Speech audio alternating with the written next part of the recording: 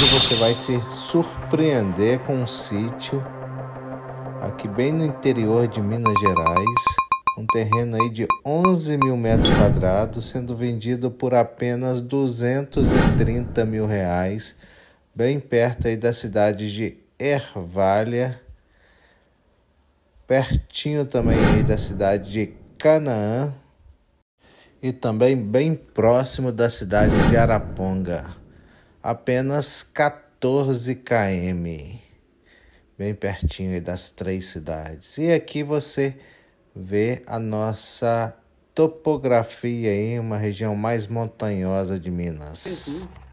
Tem pintado 6 quilos aí. 6 quilos, Marcelo? Pin... no Natal, assim. É mesmo? Joga aí um pouquinho, vamos ver se vocês vão vir agora.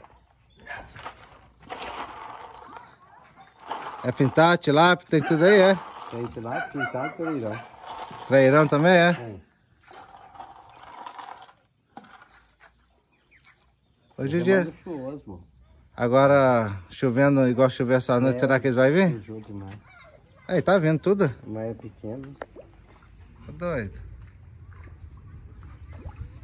Você fala que você é pequeno, umas bocadas danadas ali, rapaz. E a gente percebe é, o zelo né, do proprietário justamente quando é, acompanha a gente, corretor, ele quer explicar todos os detalhes, entendeu? E, e ele tá aqui comigo o tempo todo, falando, mostrando aí os peixes, tudo que ele tem. E a gente vai percebendo o zelo que, que, e a paixão que ele tem pela propriedade, né? E eles tocam uma lavourinha de café aqui pertinho e ainda consegue tirar aí uma, uma renda aqui na, na propriedade, né? É, jogou muito aí. É muito peixe que tem? Hã? É muito peixe? Tem. O pintado, se você vê aí. É mesmo, desse tá tamanho, é? bom. E aqui na nossa região, o pessoal tem mais costume de comer peixe frito, passa no fubá, frita no óleo e come. Aqui a gente não tem muito costume de moqueca, é, pirão, essas coisas não. Só quando vai pra praia. Eu vim de João Pessoa, já tem três anos que eu tô aqui em Minas. De vez em quando eu pego um peixinho bom aí e faço uma moqueca em casa. Mas culturalmente, assim, na região, é só peixe frito no fubá. Aí o pessoal frita muito lambari, traíra, tilápia, cará. E um tanque ou outro você acha aí os pintados, né? Mas normalmente são esses aí que eu falei. Tá subindo ali um, um peixe que tem uma barbinha. Esse aí é o pintado, viu, gente? Direto tá subindo, eu tô vendo aqui, ó. Mas já faz tempo que foi pegado. É, grandão demais. Ele deu 6 quilos. Deu 6 quilos esse peixe? Deu. Peguei no Natal do ano passado, os daí deve estar maior. Tá doido. O Jim que veio aí ajudando a comer. Vocês fizeram como assado? Assado e frito um pouco. Mas pela movimentação a gente vê bastante peixe. E esse aí é o que eles pegaram aí de 6 quilos. Fizeram aí no Réveillon que ele tá falando aqui. E essa área que ele construiu em cima do, do tanque ficou ótimo, né, gente? Ainda mais com esses coqueiros aí, uma... ficou muito bacana, tá? E aqui ele tem um secador de café, a lenha, né? Ele, ele tem uma lavourinha que ele toca logo ali em cima, traz aí o café para secar aqui no, no secador, tá? Toda essa parte aqui. Tudo isso vai ficar, tá? Aqui tem um paiolzinho, um curralzinho também. E esse terreno aqui no total são 11 mil metros quadrados, que equivale a um hectare e mil metros quadrados. Já vê que ele deixa a lenha aí para botar fogo aí no secador, né? Aí você falou que vai estar ali na árvore seca ali, né? Na árvore ali, olha lá, tem Tá, um tá lá, aquela né? Não, aquela lá. Aquela que tá seca ali. É, aquela ali. A dessa nessa rupuiuda ali, Tá, vai pegando ali a cerquinha ali embaixo. Perfeito. E ele tá falando aqui também, gente, é o seguinte, logo ali embaixo passa um córrego.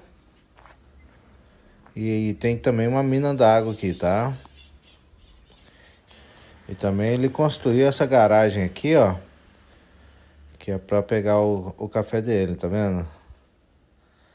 Caminhonete aí. Caminhonete mais antiga, né? Mas é o xodó dele aqui que ele tá me falando. E aí, como vocês podem reparar, o terreno tá super bem cuidado. Muito, com muito zelo. Essa área muito agradável. Adorei aqui, viu? Passaria o dia inteiro aqui, só relaxando, tomando uma cervejinha e pescando. Tudo de bom, né? E essa estrada aqui, gente, é que vai para Canaã. Aqui eu tô a 7 quilômetros da cidade de Canaã, 18 quilômetros de Ervalha e 13 quilômetros de Araponga. E a divisa das três cidades é bem aqui pertinho. E essa entrada aqui do terreno, gente, tá muito bacana, muito show, viu? Aqui a gente tem esse terreirão aí de cimento, que também serve aí para secar café. Nessa nossa região, todos os terrenos rurais têm um terreiro aí de cimento que é justamente para espalhar o café, né? E deixar ele secar. Esse transformador é exclusivo aqui para o terreno, tá? Temos também pomares, uma hortinha bem atrás. E aqui já na casa nós temos aí uma casa mais simples um pouco, mas muito bem conservada, tudo limpinho. Vocês observam aí o zelo que eles têm, né? Tanto pela casa, tanto pela propriedade quarto do casal, quarto aí da, da filhinha, são três quartos, uma sala. E aqui na cozinha, não poderia faltar aí uma, um fogãozinho a lenha, né? E ele fez aqui também a casinha das crianças, né? Não pode faltar. E esse terreno está sendo vendido por apenas 230 mil reais, gente. Esse valor você não compra praticamente nenhum lote na cidade. Se você gostou do vídeo, se inscreva aí no canal, ative o sininho para não perder as novidades que eu trago aí praticamente toda semana com vídeos novos. Mortinha muito bem cuidada. E eu vou ficando por aí mesmo, gente. Um forte abraço e até o próximo vídeo.